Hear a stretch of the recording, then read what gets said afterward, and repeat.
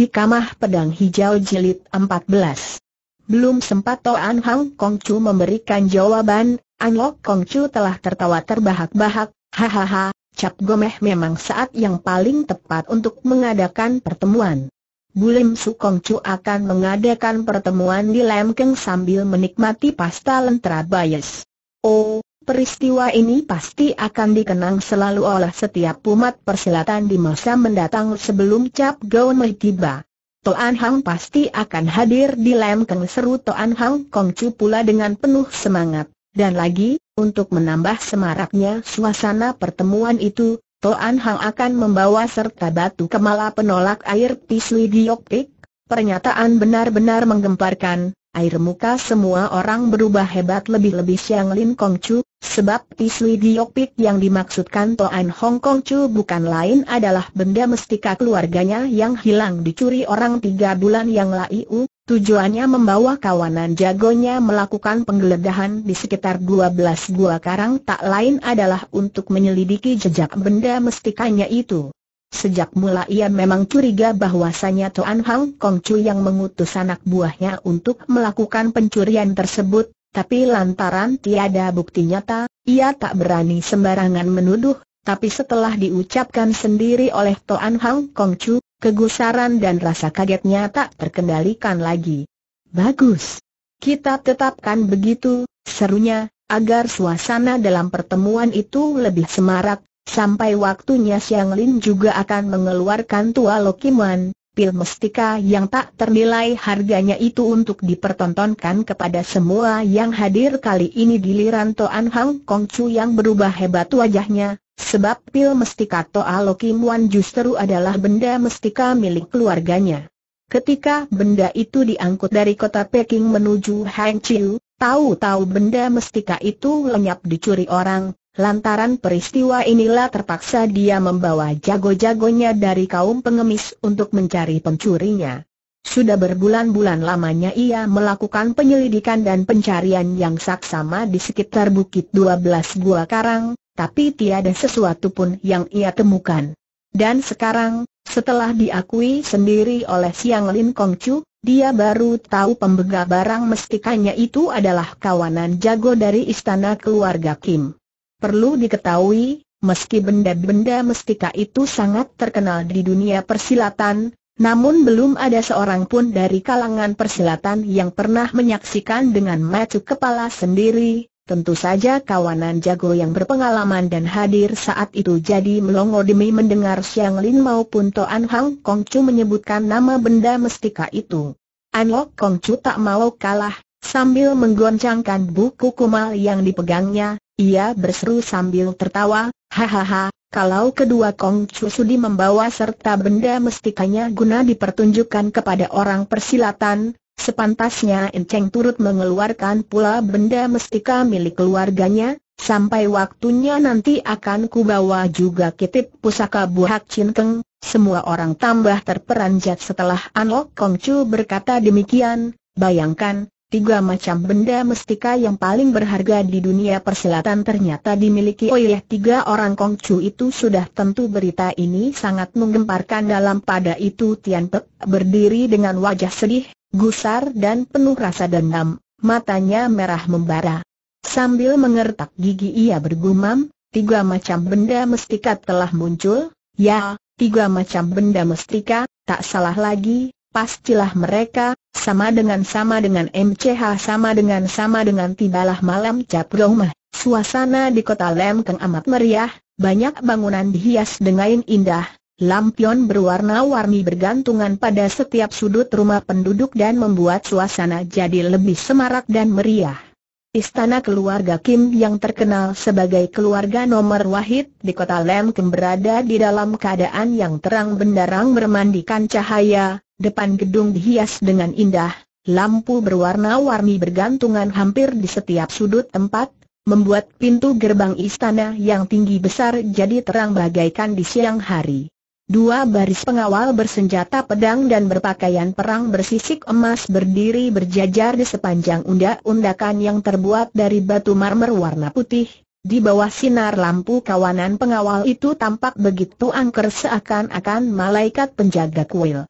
Selain pengawal berpakaian lengkap itu terdapat pula puluhan jago persilatan yang berdiri di sepanjang halaman untuk menyambut tamu mereka, satu di antaranya adalah seorang pemuda tampan berlengan satu, air mukanya kelihatan bengis dan penuh hawa nafsu membunuh. Siapa lagi pemuda itu kalau bukan Xiao Ching Hao, kecapung kecil, Beng Kipeng yang lengannya kena ditebas oleh pedang Tian Pek, sejak lengan yang kutung sembuh kembali, Rasa benci Beng Kipeng terhadap musuhnya itu boleh dibilang sudah merasuk ke tulang sumsum. Sebenarnya dia ada maksud mencari Tian Pek untuk membalas dendam, tapi ketika didengarnya pemuda itu akan hadir pada pertemuan yang akan diselenggarakan pada malam Cap Mah, maka dia memutuskan untuk menanti kedatangan musuh ini di istana keluarga Kim. Sebagai persiapan untuk menghadapi kejadian tersebut, Secara khusus dia telah mempelajari pula beberapa macam ilmu silat yang keji dan beracun, pemuda ini bertekad membalas sakit hatinya walau dengan care apa pun. Sejak Seng Surya terbenam di ufuk barat ia sudah menanti kedatangan musuhnya di depan pintu gebang, maksudnya begitu musuh yang dibenci itu datang, seketika itu juga dendamnya akan dibalas. Tapi apa mau dikata, malam sudah larut, Jago dari pelbagai penjuru dunia sudah hadir di istana itu, hanya Tian Pak saja yang belum muncul. Sian Ching Hu Beng Kipeng merasa kecewa, ia mengira Tian Pek tak akan hadir dalam pertemuan itu, dengan murung ia pun hendak masuk ke dalam. Baru beberapa langkah dia masuk ke dalam gedung, tiba-tiba berkumandang suara derap kaki kuda, menyusul muncul seorang pemuda tampan dengan sebilah pedang mestika tersandang di punggung, tapi binatang tunggangannya adalah seekor keledai kecil lagi kurus, begitu tiba di depan pintu gerbang istana Kam, ia lantas berhentikan keledainya. Pertemuan besar yang diadakan malam ini bukan saja diselenggarakan sebagai pertemuan antara empat kongcu dunia persilatan, dalam pertemuan ini pula akan dipamerkan pelbagai macam benda mestika yang tak ternilai harga Tidaklah heran apabila sebagian besar tamu yang hadir ini adalah jago kenamaan dari segenap penjuru dunia, kebanyakan di antara mereka kalau bukan datang dengan menunggang kuda bagus tentu datang dengan menumpang kereta yang indah. Tapi luar biasa kedatangan pemuda ini, bukan saja dandanannya amat sederhana, malahan ia menunggang seekor keledai kurus kecil dan tak sedap dipandang. Sementara semua orang tertegun oleh kemunculan anak muda itu, mendadak pemuda tadi telah melompat turun dari keledainya dan melangkah masuk ke dalam gedung. Serentak kawanan pengawal yang berpakaian perang melintangkan tombak untuk menghalangi Jai On masuknya. Kering beberapa tombak saling menyelang menghentikan gerak maju pemuda itu. Berhenti seorang pengawal menghardik, istana keluarga Kim bukan tempat sembarangan yang boleh dikunjungi, aduh.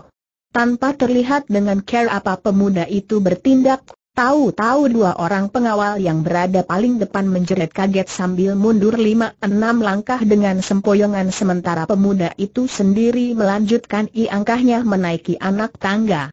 Kawanan jago persilatan yang bertugas menyambut tamu tentu saja dapat menyaksikan peristiwa itu, sebagai jago silat yang berpengalaman tentu saja mereka pun tahu apa sebabnya pengawal-pengawal itu mundur. Sempoyongan kendati pun pemuda itu tidak turun tangan.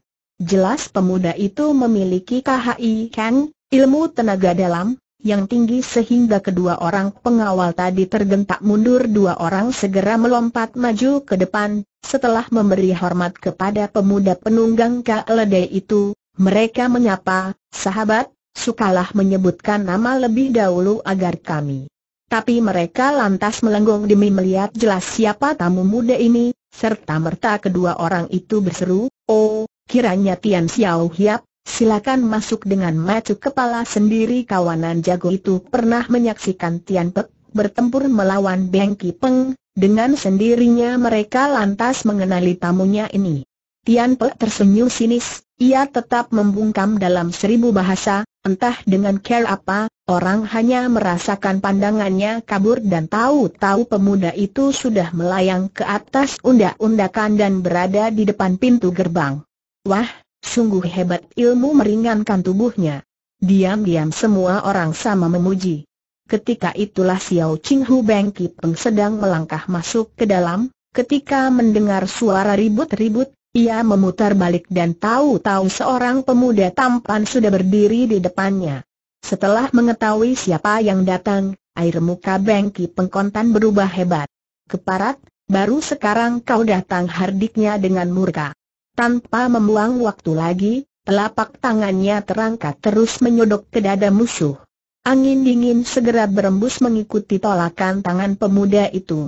Tian Pei tahu serangan ini adalah sejenis pukulan berhawa dingin yang beracun, tapi ia tak gentar, mendadak ia mengebaskan lengan bajunya tampaknya ringan kebasan Tian Pei ini, kenyataan pukulan ganas lawan dapat dipatahkan bahkan Beng Kipeng segera merasakan daya tekanan yang maha dahsyat menindih dadanya, ia tak kuasa menahan diri lagi, tanpa ampun tubuhnya mencelat ke belakang.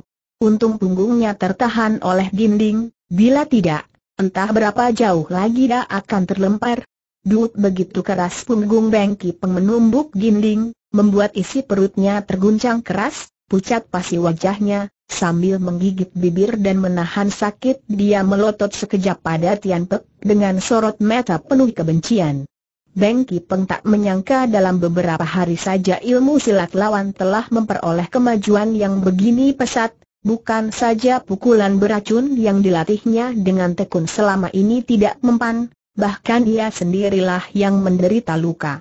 Betapa marah dan kagetnya, ia tak berani bertindak gegabah lagi, sebab benturan keras yang barusan terjadi telah mengakibatkan luka dalam yang cukup parah, Terpaksa ia saksikan Tian Pek tertawa dingin dan diantar masuk ke ruang dalam oleh para petugas penyambut tamu. Padahal perasaan dendam Tian Pek dan tekad membalas sakit hati entah berapa kali lipat lebih hebat daripada perasaan Beng Ki Peng, ia telah mengambil keputusan akan menunaikan dendam kesumat atas kematian ayahnya pada malam ini juga. Ia bertekad akan mewujudkan cita-citanya itu tanpa memikirkan apa yang akan terjadi. Sebab itulah ia sama sekali tidak berusaha menyembunyikan kepandaian saktinya, setibanya di depan gedung ia mendemonstrasikan ginkang lenggong haitoh, kemudian menggunakan cengki putih, hawa hikang pelindung badan, untuk menggetarkan tombak pengawal dan akhirnya mendemonstrasikan Lui Intiat Siu, baju baja awan meluncur, untuk melemparkan tubuh Beng Kik Peng, semua ini ia lakukan hanya dengan satu tujuan, yakni membuat keder musuh. Hanya kebetulan Beng Ki Peng yang pertama-tama ketiban bulung saja. Syukur orang-orang ini sudah mengetahui betapa ihainya ilmu silat Tian Pek, Selain itu mereka pun mendapat pesan dari Siang Lin Kong Chu agar menyambut tamunya secara hormat. Oleh sebab itu kendati pun Beng Ki Peng terluka, mereka tetap mempersilakan Tian Pek masuk ke ruangan tengah. Tian Pek sudah pernah masuk ruangan tersebut, waktu itu di siang hari, perasaannya ketika itu juga tidak sekalut perasaannya saat ini. Kini ia sudah tahu pemilik gedung ini adalah biang keladi pembunuh ayahnya darahnya bergolak, dengan pandangan lurus ia langsung masuk ke ruang perjamuan. Indah sekali ruangan perjamuan itu, lampu hias bergantungan di sana-sini, tiang berukiran naga berwarna kuning membuat bangunan tersebut kelihatan angker, lilin yang tinggi dan besar memancarkan sinarnya yang terang benderang bagaikan di siang hari. Meja perjamuan diatur dengan model tapal kuda, beratus jago persilatan telah hadir di situ, buah-buahan segar dan makanan ringan telah dihidangkan lebih dulu, sementara Bulim Sukong Chu yang punya nama besar duduk di kursi utama. Di kedua sini keempat Kongcu itu berduduklah tokoh yang dibawa oleh keempat Kongcu tersebut, menyusul kemudian berduduklah para jago persilatan lainnya yang datang dari segenap penjuru dunia.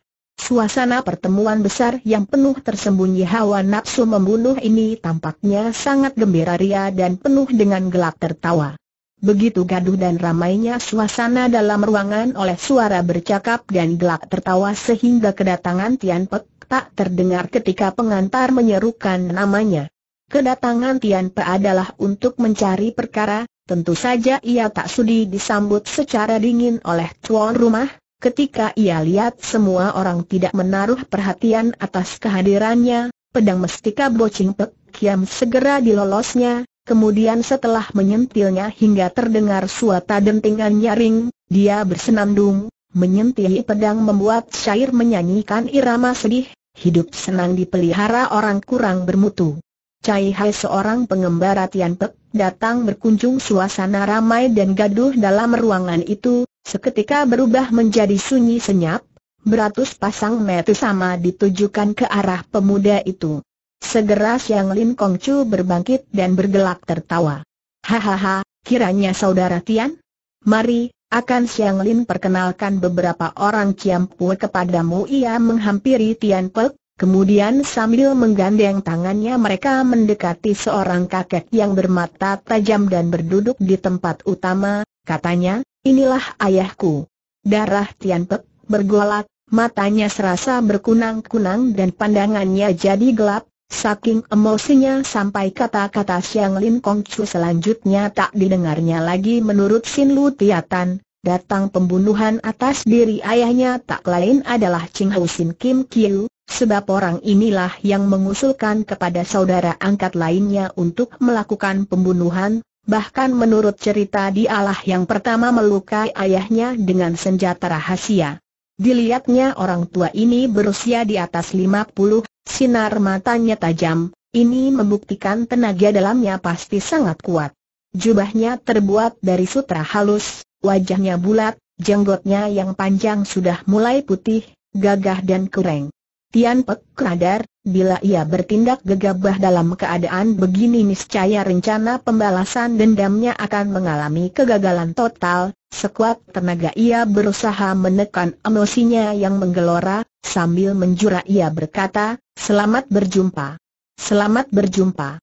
Sudah lama ku dengar nama besar Ching Hu Sin Kim Tai Hiap, sungguh beruntung hari ini dapat bertemu, Ching Ho Sin Kim Kim sama sekali tidak berbangkit ataupun balas memberi hormat dengan angkuh dia hanya mengangguk katanya, bagus.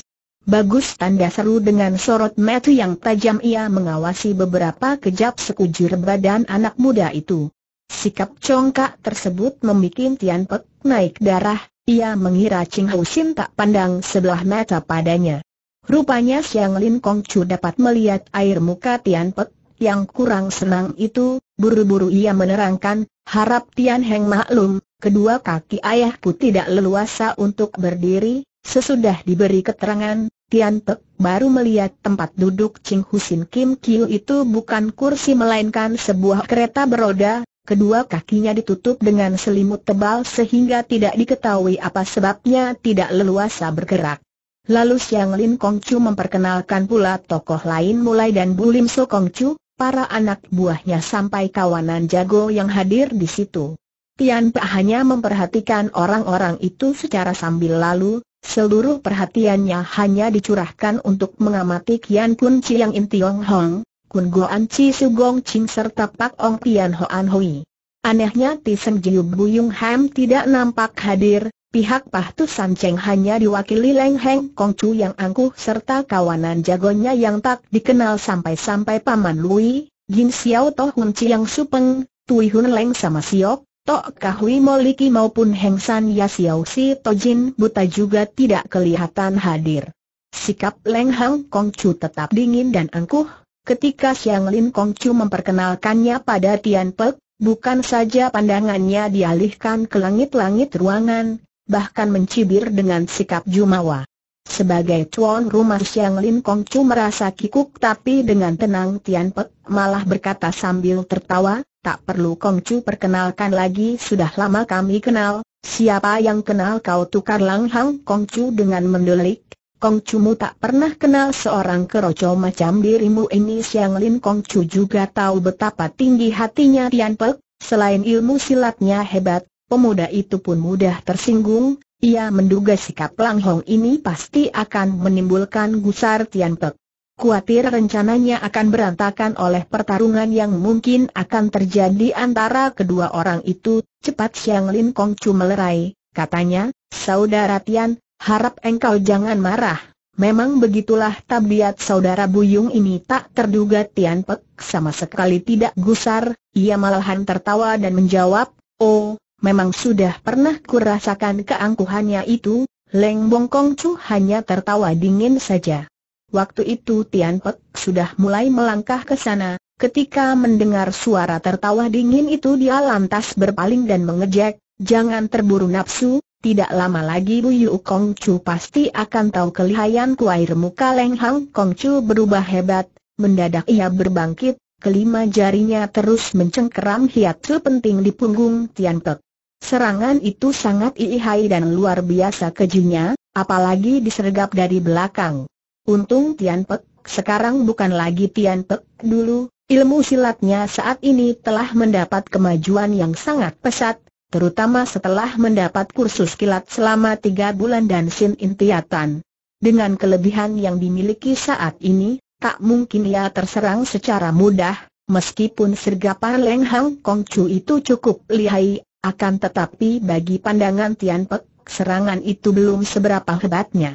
Dengan suatu gerakan yang enteng ia kebaskan lengan bajunya ke belakang, seketika serangan Lang Bong Kong Chu dipatahkan, jangan terburu nafsu kembali Tian Pek mengejek, tunggu saja nanti kebasan Tian Pek, ternyata tidak cuma memunahkan serangan lawan saja, bahkan sisa tenaganya cukup kuat pula menolak tubuh lawan. Duuk tahu tak ulang Hang Kong Chu terdorong dan terduduk kembali di atas kursinya.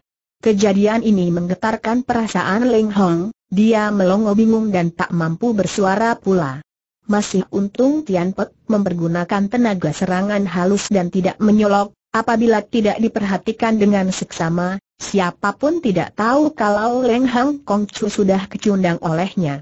Hanya Anlok Kong Chu yang menyaksikan kejadian itu dengan jelas, Meskipun ia tahu Leng Hang Kong Chu dibikin malu oleh pemuda itu, namun ia pun pura-pura tidak tahu Alok memang tertarik oleh kegagahan Tian Pak dan ada maksudnya ingin menarik pemuda itu berpihak padanya, maka setelah Leng Hang Kong Chu kena terhajar, ia lantas berbangkit dan menarik Tian Pak untuk duduk di sampingnya.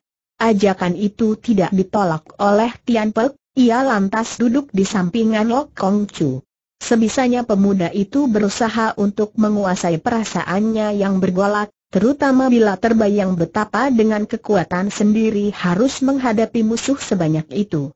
Ia tak tahu harus merasa sedih atau gembira karena sebentar lagi dia akan melakukan pembalasan dendam, tapi ia pun menyadari bila berhasil pasti peristiwa itu akan menggemparkan dunia Kangou, sebaliknya kalau gagal maka dia akan mati konyol, Sementara dia masih termenung, tiba-tiba ia merasa dirinya sedang diperhatikan oleh sepasang metu yang jeli, cepat ia berpaling. Tampaklah orang yang sedang menaruh perhatian kepadanya itu tak lain adalah Kim Chai Hong yang cantik. Berdebar jantungnya, mukanya menjadi merah, ia pikir, melihat tatapan matanya ini, apakah ia jatuh cinta padaku? Mengapa tiap kali kami berjumpa, selalu dia tatap diriku dengan pandangan begini tapi ingatan lain lantas melintas pula dalam benaknya, ah, tak mungkin hal ini terjadi, dia adalah seorang nona keluarga kaya raya dan cantik jelita, sedang aku tak lebih hanya seorang pemuda gelandangan dan tak punya apa-apa, mungkinkah dia mencintai seorang pemuda macam aku? Ai sekalipun ia jatuh hati padaku, dengan modal apakah aku harus membalas cintanya itu? Jelas hal ini tak mungkin. Segera ia berpikir pula, dia adalah putri musuh besarku, ayahku dibunuh oleh ayahnya, sebentar lagi mungkin darah akan mengalir, peduli amat dia cinta atau tidak padaku tanda seru pikiran terakhir inilah seperti air dingin mengguyur kepalanya, seketika ia sadar dari lamunannya.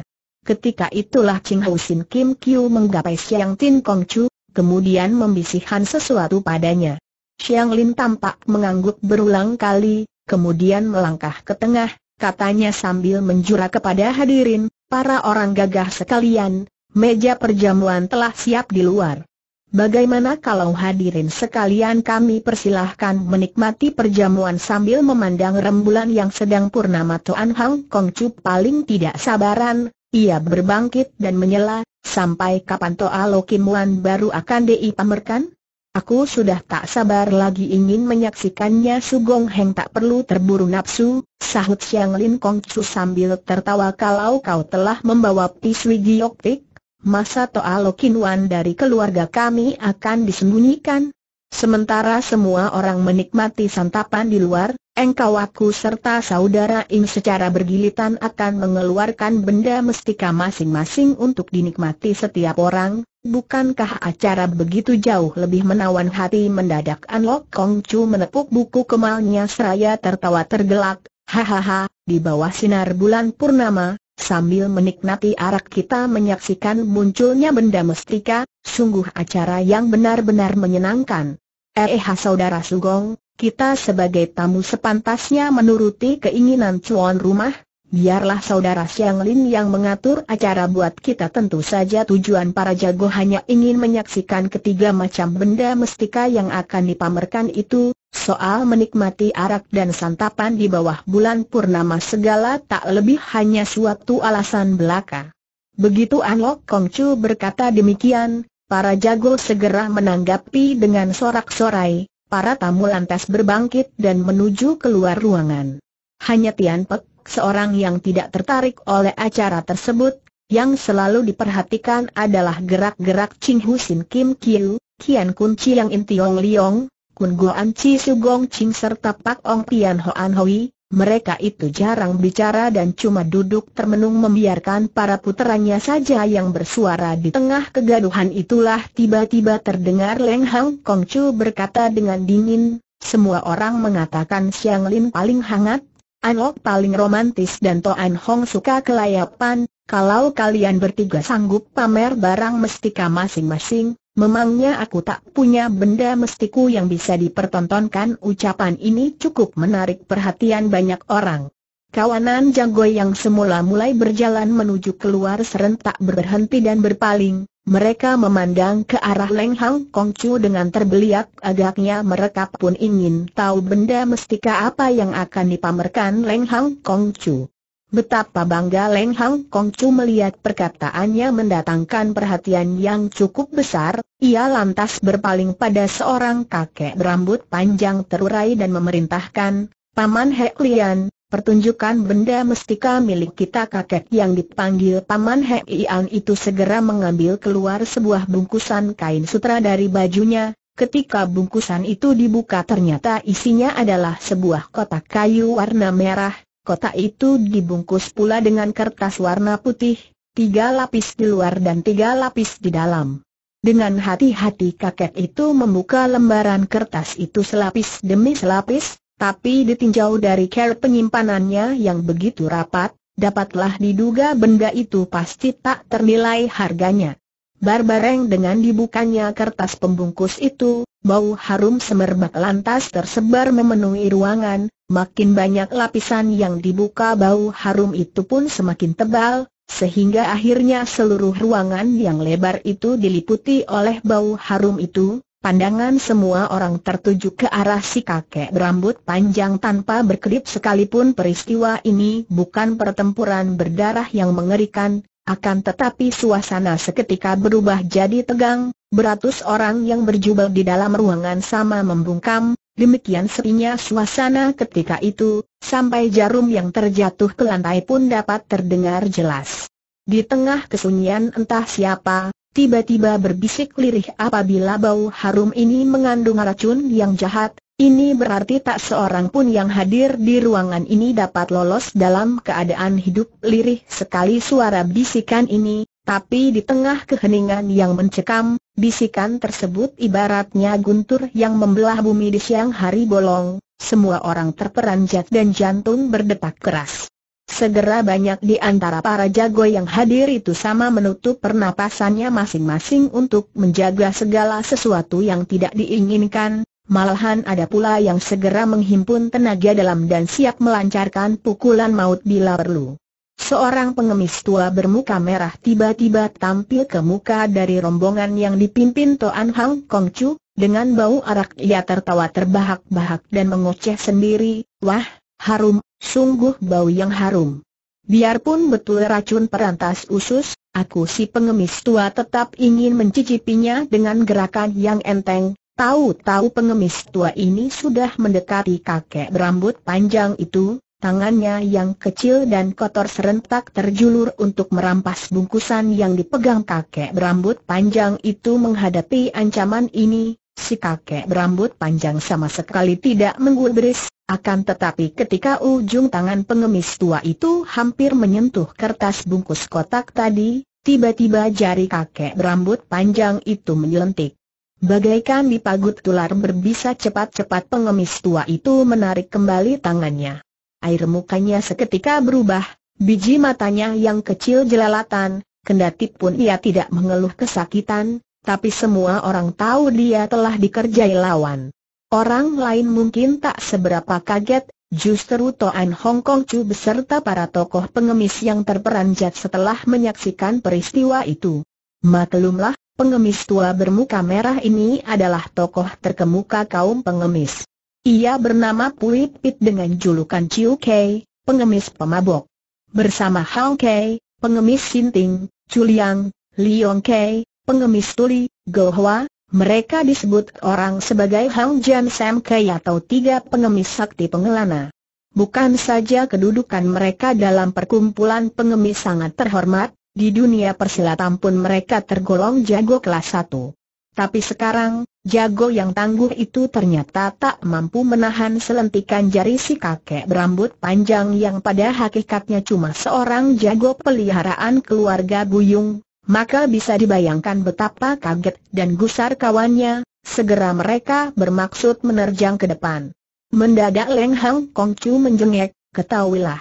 Pah Chu San Cheng suka menerima jago-jago yang berbakat bagus, aku Buyung Sengiap lebih-lebih menghormati kaum cerdik pandai, tak nanti ku celakai orang yang ada di ruangan ini dengan care licik. Hektometer, si penyebar sasus tadi yang berniat jahat, rupanya dia ingin merusak nama baik keluarga Buyung, sungguh dosan fatak dapat diampuni, berbicara sampai di sini, dia lantas mengerling sekejap ke arah belakang. Seorang laki-laki kurus jangkung dengan muka kuning kepucat-pucatan segera mengayunkan tangannya ke depan. Jerit ingking memilukan hati seketika bergema di antara kawanan jago yang berkumpul di dalam ruangan. Seorang laki-laki berusia setengah baya segera memegangi dadanya sambil menungging kesakitan, darah segar tampak merembes keluar diri celah-celah jari tangannya. Semua orang tidak tahu dengan care bagaimana pria jangkung itu melukai korbannya, tapi mereka sama menunjuk rasa gusar setelah menyaksikan tindakan sewenang-wenang dan kejam dari anak buah Lembong Kongcu. Di antara mereka, yang paling gusar adalah anggota perkampungan Kilinceng di bawah pimpinan Hoan Hui, semuanya siap sedia melakukan pembalasan. Rupanya pria yang terluka itu adalah salah seorang anak buah Pak Ong Tian Hoan Hui. Xiang Lin Kong Chu pun hampir tak kuasa mengendalikan rasa gusarnya menyaksikan tindakan Leng Hang Kong Chu yang secara tidak semena-mena melukai orang di rumahnya. Tapi dia memang pemuda yang bisa berpikir, ia khawatir rencananya akan gagal, ia pun tidak berharap terjadinya bentrokan dalam keadaan seperti ini, maka ia berusaha menahan perasaannya, katanya segera, Buyung Heng, jika betul engkau membawa benda mestika, lebih baik pamerkan saja di pesta kebon nanti, untuk sementara lebih baik mestika itu kau simpan dulu. Belum habis ucapannya, kakek berambut panjang tadi telah membuka lapisan kertas yang terakhir, dua jari tangannya tiba-tiba mencomot secuil benda warna putih dari bungkusan tadi, kemudian diselentikan ke depan, sejalur cahaya putih langsung menyambar ke arah pengemis pemabuk seraya berseru, Hei, jembel tua, kalau kau ingin mencicipi, nah ku beri sedikit agar orang tidak mentertawakan kami orang Pahcu Sanceng sebagai manusia pelit pengemis pemabuk puipit benar-benar bernyali besar, dia tak peduli benda apakah yang disambitkan ke arahnya, ia pun tak tahu apa tujuan lawannya berbuat demikian, Ketika benda putih ini menyambar tiba, cepat ia membuka mulut Neva, benda itu dicaploknya dan terus ditelan ke dalam perut. Tindakan yang sangat berani ini seketika membuat para hadirin menjadi gempar, bukan saja orang-orang dari pihak Toan Hang Kong Chu merasa terkejut, mereka yang sama sekali tak ada hubungan dengan Chiu Kei juga ikut khawatir. Tak tahunya, setelah Chiu Kei menelan benda putih itu, dia menjilat seputar bibirnya, kemudian mengambil buli-buli araknya dan menenggak beberapa cegukan. Sesudah itu barulah dia berseru lantang, eh, makhluk tua berambut panjang, benda apa yang kau berikan padaku? Apakah buah jinsom yang pernah dicuri oleh siluman kera itu? Wah, lezat sekali rasanya hahaha, pengemis tua, nasibmu memang lagi mujur sahut kakek berambut panjang sambil tertawa. Sekalipun bukan buah jinsom yang bisa bikin orang jadi dewa, tapi benda ini adalah jinsom asli berumur seribu tahun, bila engkau mengatur pernapasan pada saat ini juga, maka tenaga dalammu akan bertumbuh sebesar tiga tahun hasil latihanmu. Sudah tentu semua orang tidak mau percaya ocehan tersebut, masa mereka bersedia memberikan benda mestika yang tak ternilai harganya itu untuk seorang yang sama sekali tak ada hubungannya dengan mereka? Tapi Chiu Kei Pui Pi ternyata tidak sangsi sedikit pun, ia segera duduk bersila dan mulai mengatur pernapasan. Perasaan ingin tahu menyelimuti hati setiap orang, untuk sesaat suasana di dalam ruang itu menjadi sunyi, tak ada yang bergerak, tak ada yang berbicara, dengan terbelalak semua orang memandang Ciu Ke yang sedang bersemadi. Selang seminuman teh kemudian, Ciu Ke melompat bangun, sinar mata yang terpancar dari mata pengemis ini jauh lebih tajam daripada sebelumnya, mukanya kelihatan lebih segar dan langkah pun jauh lebih tegap. Sungguh benda mestika, sungguh luar biasa tanda seru-serunya berulang kali. Setelah pengemis tua itu membuktikan kemujaraban benda di dalam kotak tadi, semua orang mulai percaya pada perkataan kakek berambut panjang itu itu tanpa sadar sinar mati mereka pun ditujukan ke arah kotak tersebut. Kakek berambut panjang itu sama sekali tidak menunjukkan reaksi apa-apa, dia hanya bergumam sendiri, barang siapa bersedia menjadi anggota perkampungan Pahcu Sanceng, dialah yang akan menikmati secuil jinsom berumur seribu tahun sekarang. Tian Pek baru paham apa maksud Leng Hang Kong Su menyuruh jagonya mengeluarkan benda mestika itu, rupanya ia hendak menggunakan benda mestika itu sebagai umpan untuk menarik simpati para jago yang bersedia menjadi anggota perkampungannya. Di samping itu ia pun menyadari taktik yang digunakan ketiga kongcu lainnya, jelas mereka semua hendak menggunakan benda mestikanya masing-masing untuk mencari simpati tokoh persilatan sehingga lebih banyak lagi kekuatan yang berpihak kepada mereka diam-diam Tian Pek merasa geli dan mendengus, ia tidak menyangka Bulim Su Kongcu yang termasyhur itu lebih suka menggunakan cara yang rendah itu untuk memperbesar pengaruhnya di dalam dunia persilatan. Leng Hang Kong Chu tidak menggubris suara jengekan Tian Pek, melihat siasat yang diaturnya berhasil mendatangkan perhatian serta minat yang cukup besar dari kawanan jago, dengan bangga ia berkata lagi, di Pahcu Sanceng kami tidak cuma Jin Som berumur seribu tahun saja, bahkan terdapat pula Hosioh dan Lang Chi berumur seribu tahun serta aneka macam benda mestika lain yang tak terhitung jumlahnya, Barang-barang itu sengaja kami sediakan untuk dinikmati bersama dengan kawan-kawan persilatan yang sudah bergabung dengan keluarga buyung kami. Pada umumnya orang persilatan tidak suka emas dan juga tidak gemar perak, tapi mereka sangat senang bila mendapat obat mujarab yang bisa menambah tenaga dalam yang mereka miliki, sering kali terjadi saling bunuh-membunuh hanya lantaran memperebutkan sepotong obat mujarab saja. Bisa dibayangkan betapa tergiurnya kawanan jago ini setelah mendengar tawaran pihak Pah Chu San Cheng. Andai kata pengemis pemabuk tidak menunjukkan khasiat yang luar biasa setelah makan obat mestika itu, keadaan mungkin masih mendingan, tapi setelah menyaksikan apa yang terjadi, segera timbul minat mereka untuk turut serta menerima pembagian rezeki tersebut. Cuma karena ingin menjaga gengsi, maka mereka tidak merubung ke sana, tapi ada juga di antaranya sudah mulai melangkah ke depan.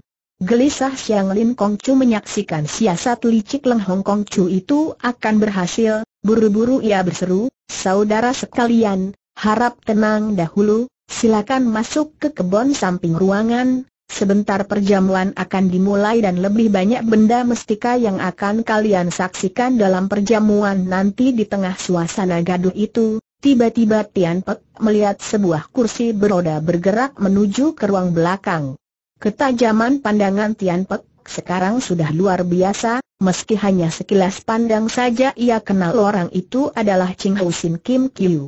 Tian Pek khawatir setelah Ching Sin kabur kesempatan lain tentu sulit dicari lagi untuk bertemu dengan dia. Segera ia berteriak, Kim Lo Chiam Po jangan pergi dulu keras sekali suara bentakan itu, seketika sinar lilin dan lampu yang tergantung di dalam ruangan ikut tergetar. Dengan kaget semua orang berpaling, namun Tian Pek tidak pedulikan perhatian orang, dengan suatu gerakan cepat ia memburu ke depan Ching Husin Kim Kiu, lalu serunya lagi, Cai He bernama Tian Pek, ingin kutanya suatu hal kepada Kim Lo Chiam Pual, Apakah engkau bersedia untuk memberi keterangan sekalipun Ching Sin Kim Kiu telah menghentikan kursi berodanya, namun mukanya tetap kaku tanpa emosi, dengan dahi berkerut ia berkata, sudah puluhan tahun aku tak pernah muncul di dunia persilatan, tak sepotong urusan pun yang ku ketahui, bila ada persoalan silakan kursi bertanya kepada orang lain saja habis berkata dia menggerakkan kembali berodanya dan bergerak menuju ruang belakang. Tunggu sebentar. Seru Tian Pek cepat. Tapi Ching Hou Sin Kim Kiu tidak mempedulikan lagi, tanpa berpaling dia luncurkan kursi beroda ke depan. Tian Pek jadi penasaran dan segera hendak mengejar, tapi baru saja ia bergerak, sekonyong-konyong terang, pintu besi yang berada di depan, secara otomatis menutup sendiri. Untung Tian Pek keburu menghentikan gerak tubuhnya, hampir saja kepalanya menumbuk pintu besi tersebut.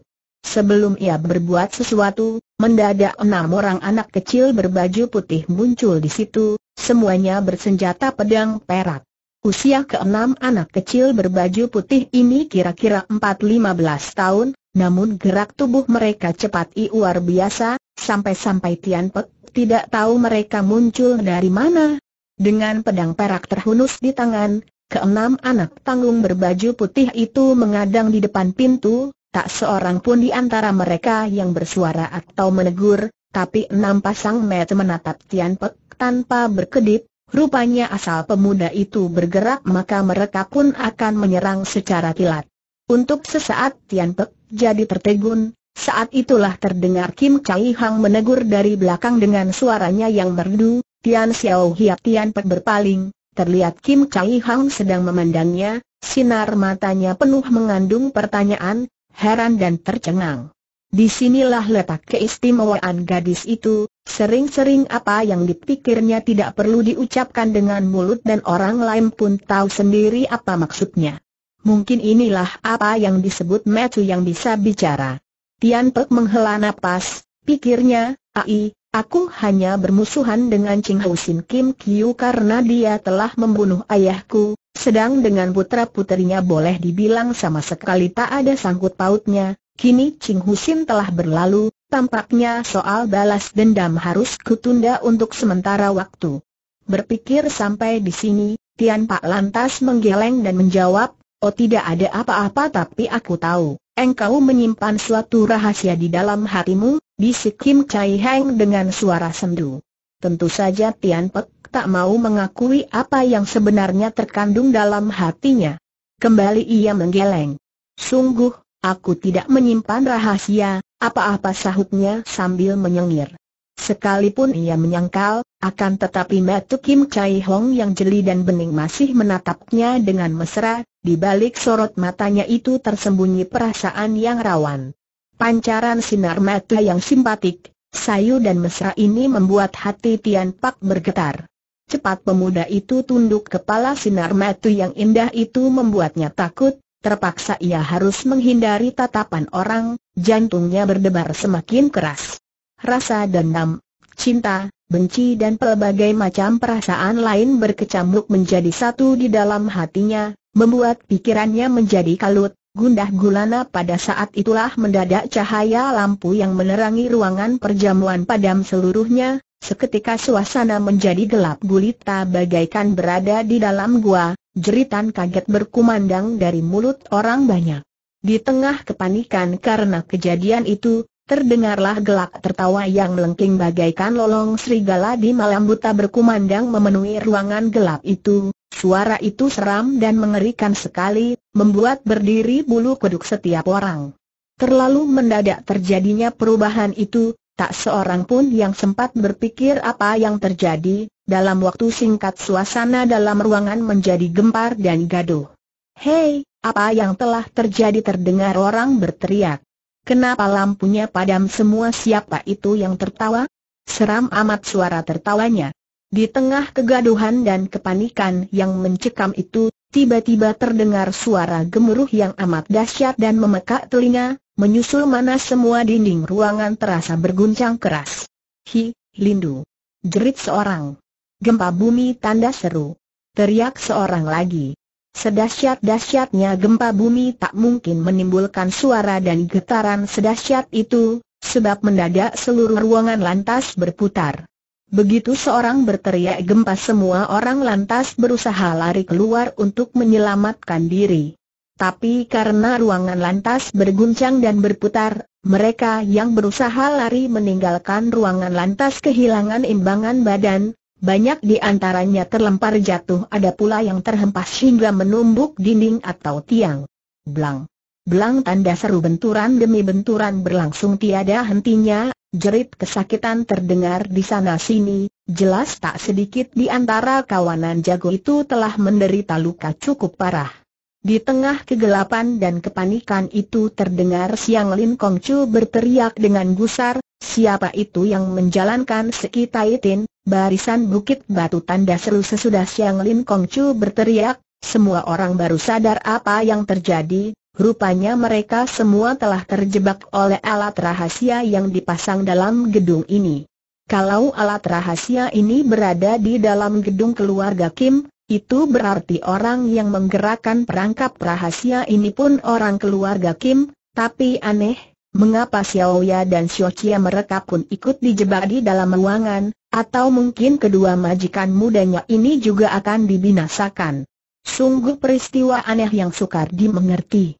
Bentakan yang dilontarkan Xiang Lin Kong cuma makin lama makin keras, nadanya makin gusar dan gelisah, Siapa pun dapat mengetahui bahwa perintah tersebut sudah pasti bukan berasal dari pemuda ini, malahan jelas bahwa keselamatan jiwanya pun ikut terancam.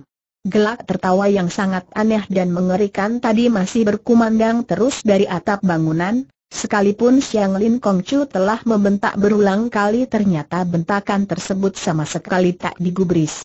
Bisa dibayangkan betapa gusarnya. Siang Lin, mencak-mencak seperti orang gila.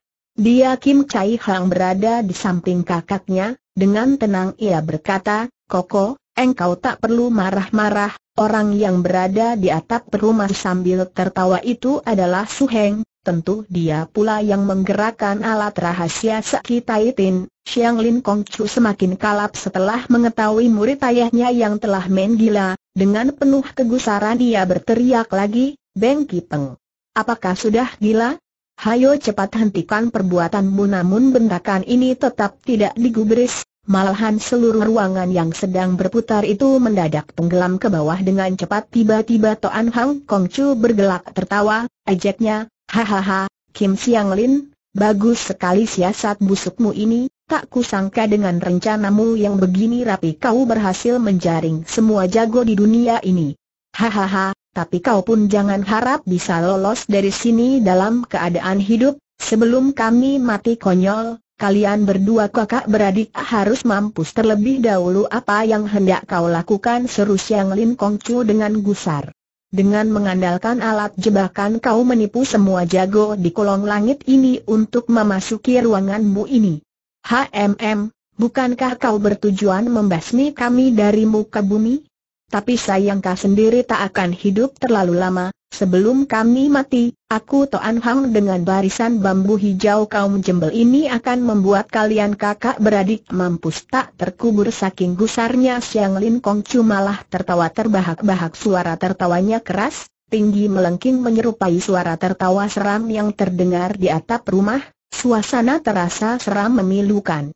Saudara Sugong katanya lantang, tak perlu kau memfitnah orang secara keji, aku Kim Siang Lin sama sekali tidak bermaksud menjebak kalian, sekalipun aku memang berniat membasmi kalian, tak nanti aku mengorbankan diriku sendiri. Hehehe, siapa yang akan mempercayai perkataanmu ejek Toan Hang Kong? Cuma alat perangkap yang berada di rumah sendiri dapat mencelakai dirimu pula, aku tak percaya dengan segala macam ocehanmu ini. Bila kau lelaki sejati dan bukan manusia yang takut mati, hayo terimalah tantanganku untuk berduel sebelum Siang Lin Kong Chu sempat menjawab, tiba-tiba Kian Kun Chang In Tiong Liong menimbrung, Sugong Suheng, sekalipun kau berniat mengadu jiwa, dalam kegelapan yang mencekam begini, belum tentu kau sanggup melancarkan serangan mautmu hahaha, kegelapan bagi tukang minta-minta semacam diriku hanya permainan kecil saja, seru Ciu Kei Pulipit mendadak sambil bergelak tertawa. Sahabat-sahabat perkumpulan pengemis, demonstrasikan keampuhan kalian agar ditonton para pahlawan di dunia seru Toan Hang Kong Chu dengan lantang. Bersamaan dengan selesainya seruan itu, terdengar suara kret-kret yang ramai, dalam waktu singkat puluhan batang obor telah bermunculan di sana-sini. Rupanya di saku tiap anggota perkumpulan pengemis selalu membekal geretan api dan obor, mereka menamai obornya sebagai Cian Li Hwe, api seribu li obor Cian Li Hwe hanya khusus terdapat pada perkumpulan pengemis, bukan saja obor itu tak takut tembusan angin, tak takut curahan hujan, bahkan sepanjang waktu selalu menyala. Dengan bermunculnya berpuluh obor, Sekejap saja seluruh ruangan menjadi terang benderang lagi bermandikan cahaya. Tatkala ruangan itu berputar sambil lambles ke bawah itulah, puluhan jago pengemis lantas cabut pentung bambu hijau mereka, dalam waktu singkat mereka membentuk sebuah barisan bambu hijau yang tangguh dan mengepung Siang Lin Kong Chu kakak beradik di tengah.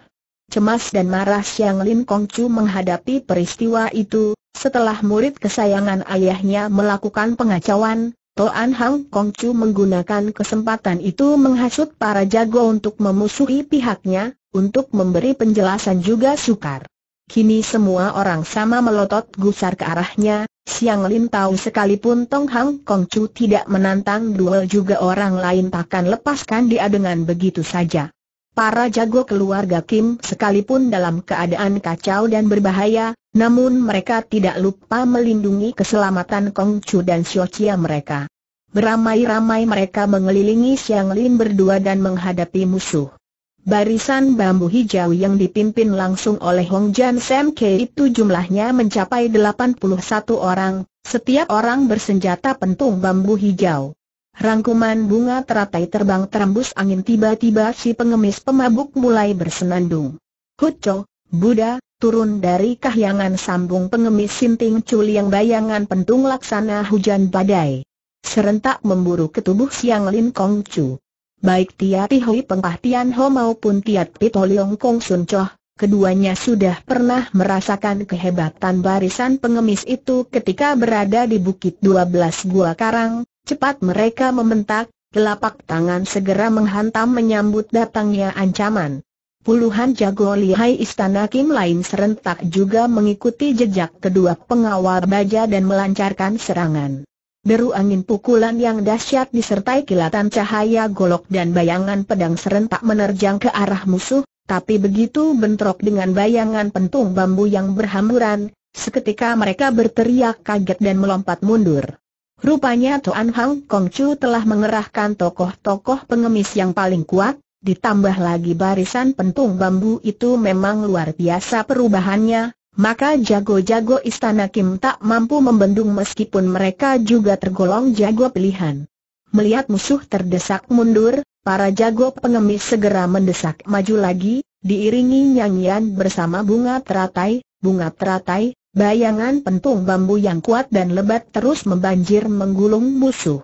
Pucat wajah Siang Ling Kong Chu, bentaknya gusar, Sahabat kaum pengemis, kalian terlalu menghina, maka jangan kalian salahkan Siang Lin bertindak kejam, lihat senjata rahasia serentak tangan kanannya di ayun, desingan angin tajam seketika menyambar dengan gencar da bawah cahaya obor yang cukup terang, tampaklah berpuluh buah titik hitam bagaikan sekelompok kecapung menyambar bersama ketubuh kawanan pengemis itu. Kiranya dalam keadaan terdesak, Xiang Lin Kong Chu telah menggunakan Ching Hou Piao.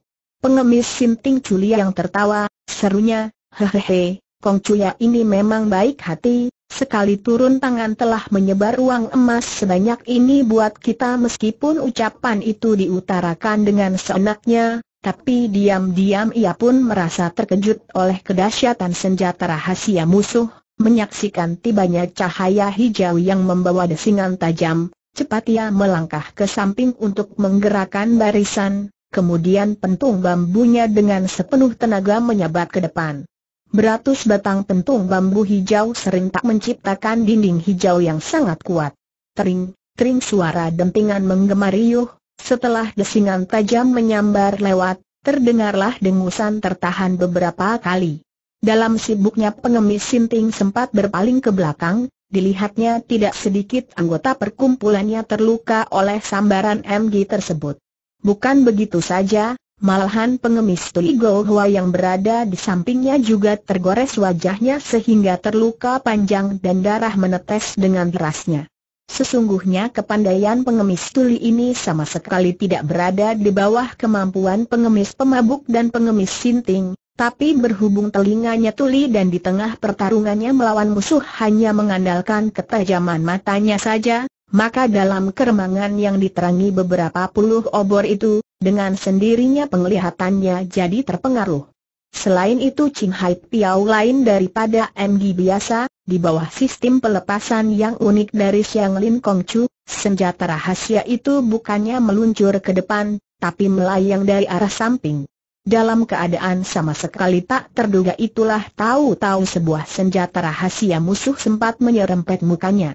Karena tangan kirinya membawa obor, tangan kanan memegang pentung bambu setelah pipinya terluka ia mengusap dengan lengan baju. Ia jadi murka melihat lengan baju berlepotan darah, ia meraung, segera ia mengerahkan barisan, puluhan pentung bambu terus menghantam Siang Lin Kong Chu. Mendadak Siang Lin menghamburkan lagi segenggam Ching Hou Piao.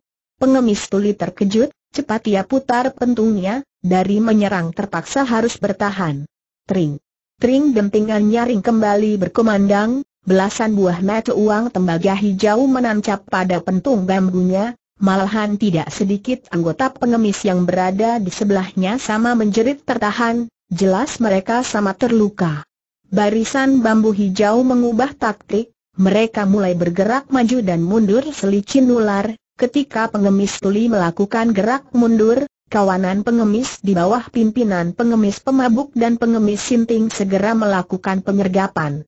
Jeritan ngeri berkumandang, beberapa orang jago lihai dari istana Kim terkena serangan dan tewas, bahkan pada saat yang sama puluhan pentung bambu sering tak mengepung dan mengancam hiat penting di tubuh Siang Lin Kong Chu kakak beradik.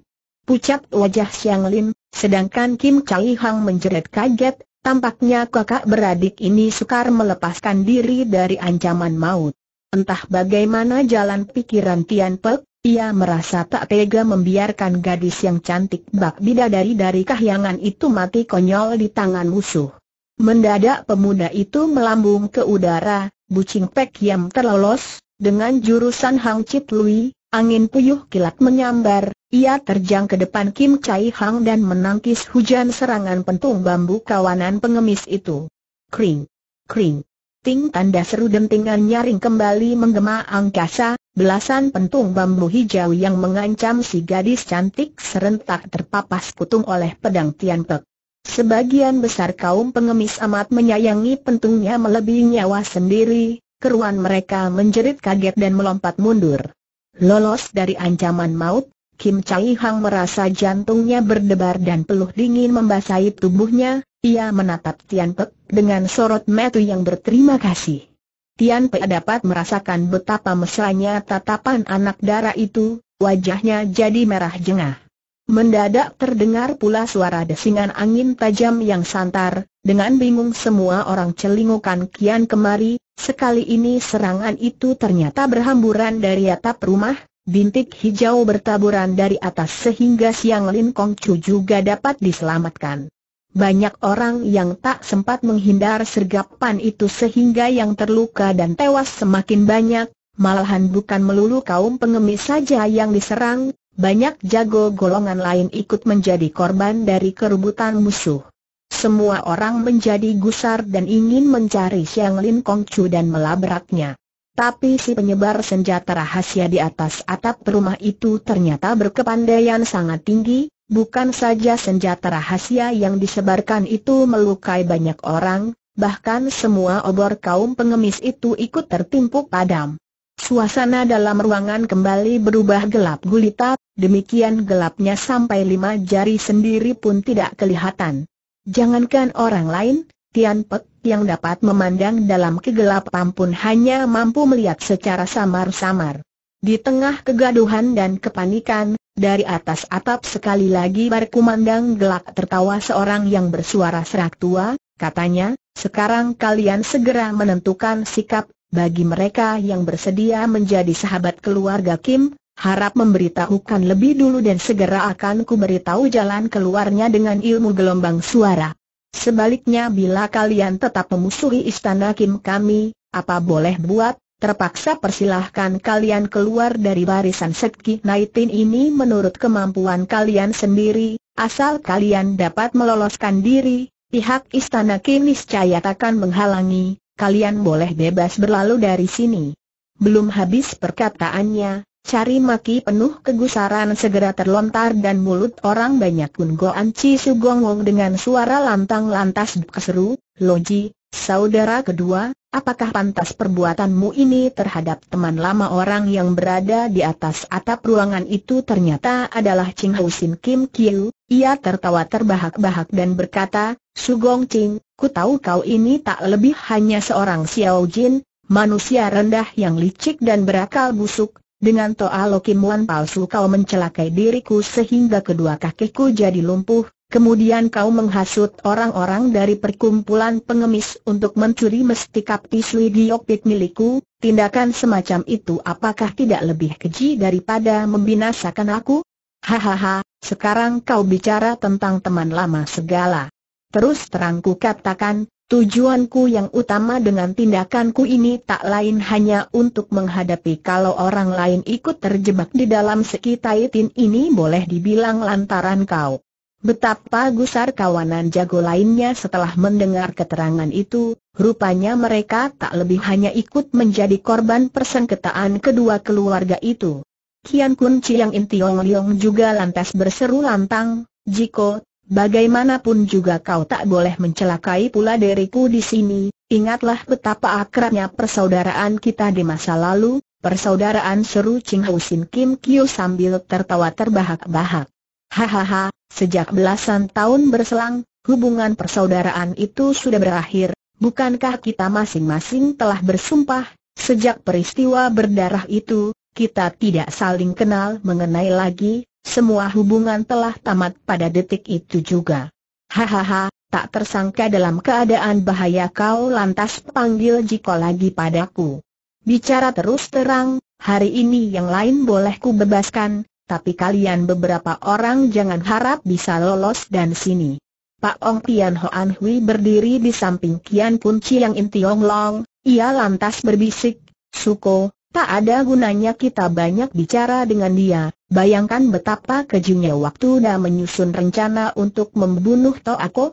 Sekarang kita sudah terjebak, memohon ampun juga tiada gunanya, akan lebih baik kalau, sampai di sini suaranya lantas lebih lirih lagi. Tapi Tian Pek kini dapat menangkap semua ucapan Pak Ong Tian Hoan Hui itu, didengarnya, kita tawan anak setan tua itu, dengan menyandra bocah itu kita dapat paksa dia.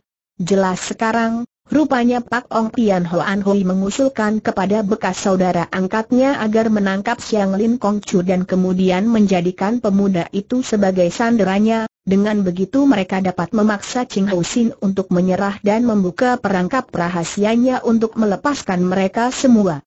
Selain itu, dari pembicaraan mereka tadi Tian Pek dapat menarik kesimpulan bahwa Ching Hou Sin Kim Kyu yang merencanakan pembunuhan terhadap payahnya, Kemudian mereka berenam turun tangan bersama dan membagi barang rampasan secara merata, lalu bubar dan tidak saling mengenal lagi.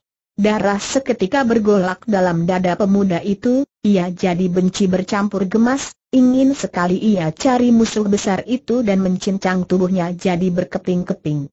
Sementara Tian Pek termenung, tiba-tiba ia merasa ada sebuah tangan halus dan hangat memegang tangannya, Menyusul mana ia lantas mencium bau harum, sebelum ia sempat berpikir, tangan yang yang halus dan hangat itu telah menariknya menuju ke sudut ruangan kontan sekujur badan Tian Pek. Bergetar keras, ia merasa seperti ada aliran hawa panas yang merembes lewat ujung jari orang meresap ke setiap syaraf di tubuhnya, di tengah kegelapan ia tak tahu musuhlah atau temankah yang menggandeng tangannya, tapi anak muda itu tidak melawan, ia mengikut saja ke mana pun dia ditarik.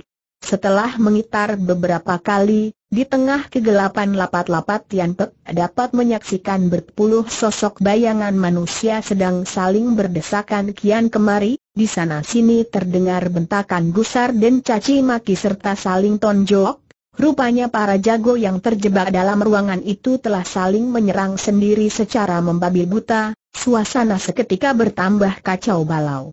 Meskipun pandangan Tian Pek belum pulih kembali dalam kegelapan, tapi secara di bawah sadar ia menduga orang yang menggandeng tangannya itu pasti Kang Lam Teit di Jin Kim Chai Hang adanya.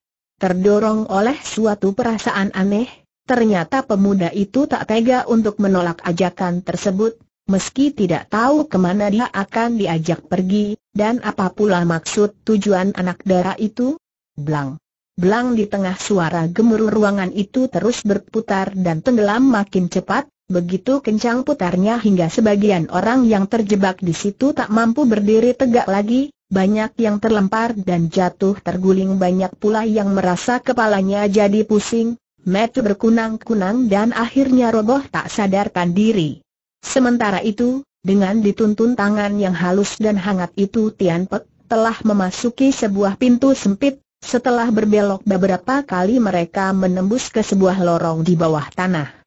Tempat berpijak tidak berputar bahkan ia merasa mulai mendaki undak-undakan batu, jelas ia telah lolos dari jebakan Soki Taitin tadi.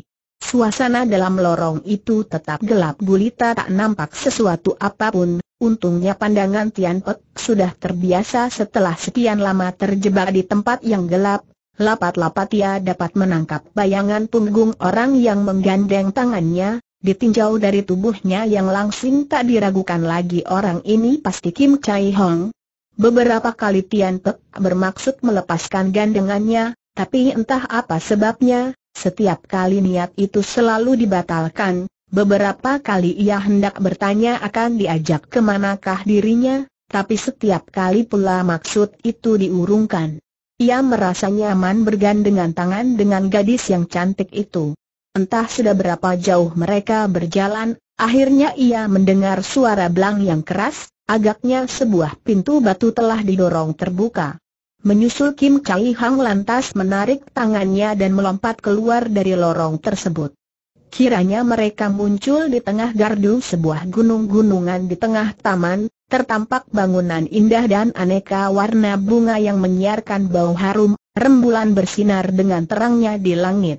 Di bawah cahaya bulan purnama, Kim Chai Hang tampak jauh lebih cantik dan menawan hati, dengan tertawa manis ia berkata, untung aku mengetahui jalan keluar lewat lorong rahasia tadi, kalau tidak niscaya kita akan mengalami nasib yang sama dengan mereka. Hangat perasaan Tian Pek mendengar Kim Chai Hang mengistilahkan kita bagi mereka berdua, segera ia bertanya, apakah mereka akan tenggelam ke dasar bumi? Masa ruangan ini tak dapat bergerak naik lagi ke permukaan tanah. Kim Chai Hang tersenyum manis, ditatapnya wajah Tian Pek dengan pandangan mesra, lalu sahutnya, aku sendiri pun kurang jelas, hanya waktu kecil pernah kudengar dari ayahku bahwa ruang tengah itu telah dilengkapi sebuah alat jebakan yang bernama Sakitaitin. Asalkan tombol rahasianya ditekan maka ruangan itu akan tenggelam ke dasar tanah dan selamanya tak akan muncul kembali, bila mereka terjebak dalam ruangan tersebut, kendati pun ilmu silatnya sangat lihai, selamanya akan terkubur di situ. Aku tidak percaya dengan perkataanmu tiba-tiba Tian Pek menjengek. Kim Chai Hang melangkah maju dua tindak, serunya dengan kurang senang, jadi kau kau anggap aku membohongi kau hahaha, Tian Pek bergelak tertawa. Bukankah engkaumu dan jago-jago keluarga Kim masih terjebak di sana, masa mereka pun akan menemani musuh dan terkubur selamanya di situ Kim Chai Hang tertawa cekikikan mendengar perkataan itu, sahutnya, tentu saja engkohku tidak akan bertindak sebodoh itu, tentu ia pun mengetahui lorong rahasia yang menembus keluar tapi, sampai kini engkohmu belum lagi ikut keluar bersama kita, tanpa sadar Tian Pek menggunakan pula istilah kita, istilah yang terasa mesra sekali, Kontan saja air mukanya jadi merah, jantungnya berdebar dan kata-katanya terputus. Makin manis senyum Kim Chai Hang dengan wajah berseri ia menerangkan, lorong rahasia yang terdapat di seputar alat jebakan Sekitaitin bukan cuma satu ini saja, jalan tembusnya juga tidak melulu berada di sini saja, sekali orang salah langkah dalam ruangan yang berputar kencang itu, maka selamanya dia tak akan mampu memasuki lorong rahasia sempit yang hanya bisa cukup dilewati satu orang saja itu. Oh, sungguh tak tersangka istana Kim yang tersohor di dunia persilatan ternyata sudi menggunakan alat jebakan yang rendah dan memalukan ini untuk mencelakai orang, seru Tian Pek dengan nada kesal. Hitung-hitung aku Tian Pek telah merasakan sampai di manakah kelicikan manusia istana Kim. Baiklah, selama gunung tetap menghijau, kita pasti berjumpa lagi di lain waktu. Selamat tinggal tanpa menunggu jawaban Kim Chai Hong, dengan langkah lebar Tian Pek lantas berlalu. Pucat wajah Kim Chai Hong mendengar perkataan itu, untuk sesaat dia berdiri tertegun, setelah Tian Pek berlalu ia baru merasakan hatinya sakit bagai di Cyrus, Tak tahan lagi ia menangis dan memburu ke arah pemuda itu sambil berseru, kau, kau jangan pergi.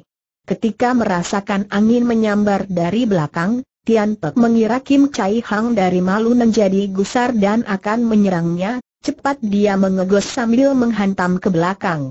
Tapi segera dilihatnya si Nona sama sekali tidak menghindar atau berkelit, dengan tangan terpentang dan dada membusung sedang menubruk ke arahnya setelah pukulan dilancarkan baru Tian Pek tahu Kim Chai Hang tidak bermaksud menyerangnya melainkan cuma menubruk ke dalam pelukannya, dalam keadaan demikian sekalipun Tian Pek berhati keras bagai baja, luluh juga hatinya. Maka cepat ia berusaha menarik kembali pukulannya. Tapi sayang, sudah terlambat, meskipun sebagian besar tenaga pukulannya dapat ditahan, tapi sebagian kecil tetap mengenai dada si Nona. Kim Chai Hang mengeluh tertahan, badannya yang menubruk ke depan tergetar sempoyongan, lalu roboh terkapar.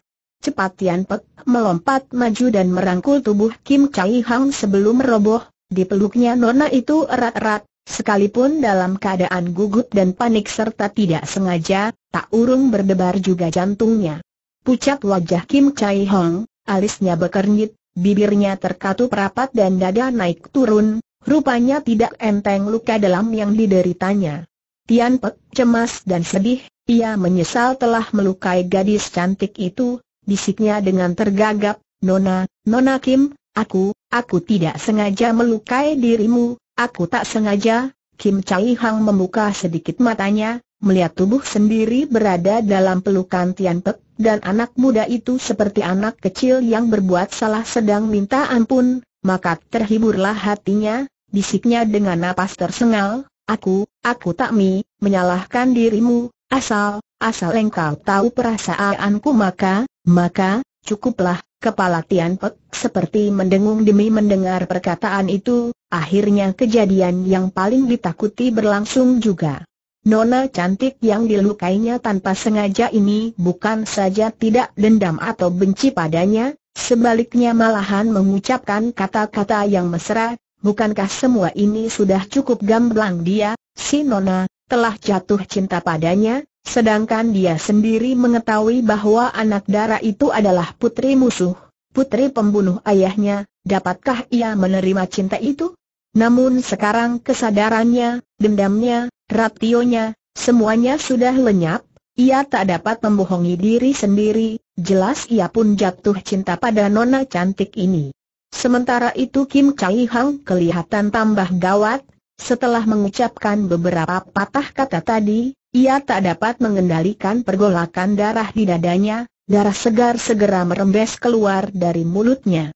Tian Pek menjerit kaget, Tanpa pikir lagi dipeluknya tubuh Kim Chai Hoge lebih erat, tangan kanannya secepat kilat menutup tiga hiatsu penting di tubuh anak darah itu, kemudian telapak tangannya ditempelkan pada Ki Bun Hiat di depan dada Kim Chai Hong. Ketika telapak tangannya menempel dada si Nona, Tian Pek merasa ujung jarinya menyentuh sesuatu yang kenyal, seperti kena listrik, sekujur badannya bergetar keras, darah bergolak, hampir saja ia tak mampu mengendalikan diri. Oh tanda seru entah kesakitan, entah keluhan puas, itulah suara Kim Chai Hang ketika tangan pemuda itu menempel dadanya yang montok itu. Tian Pek tersentak sadar dan sedapatnya menahan gejolak nafsu setan, Cepat ia kerahkan hawa murni dan disulurkan melalui telapak tangannya ke tubuh si Nona. Nona Kim, bisiknya lirih, ku salurkan tenaga dalam untuk mengobati luka Nona, harap Nona salurkan pula hawa murnimu untuk mengiringi. Kim Chai Hang membuka matanya dan mengerling manja ke arah pemuda itu, tapi ia tidak bersuara, ia menurut dan mengiringi hawa murni yang disalurkan Tian Pek itu. Melalui jalan darah Ki Bun Hiat, Aliran hawa panas, bergerak menembus Sam Chiat Hiat, dari situ bergerak turun ke bawah mencapai pusar, kemudian bergerak pula menembus bagian bawah tubuh, dalam waktu singkat badannya jadi segar kembali, malahan rasa sakit di dadanya seketika lenyap pula. Ia merasa tangan Tian Pek yang hangat itu mulai bergerak meraba dadanya, kemudian pelahan bergerak turun ke bawah dan ke bawah kecuali merasakan tubuhnya jadi segar, Kim Chai Hang juga merasakan pula rasa gatal-gatal geli, semacam perasaan yang belum pernah dialaminya. Kim Chai Hang tak tahan lagi, ia bergeliat dan rada gemetar, mukanya yang pucat seketika berubah menjadi merah membara. Oh! Kim Chai Hang mengeluh tertahan dengan mata, terpejam seperti orang mengigau, mulai sekarang, aku tak mau kau panggil Nona Kim. Lalu harus ku panggil apa tanya Tian Pek, dengan samar-samar seperti orang mabuk. Panggil aku adik Hang. Pikiran Tian Pek semakin hanyut dan lupa daratan, melupakan sakit hatinya, ia menurut dan memanggil, adik Hang. Oh, engkau Tian, engkau sangat baik, keluh Kim Chai Hang lagi sambil tarik napas panjang.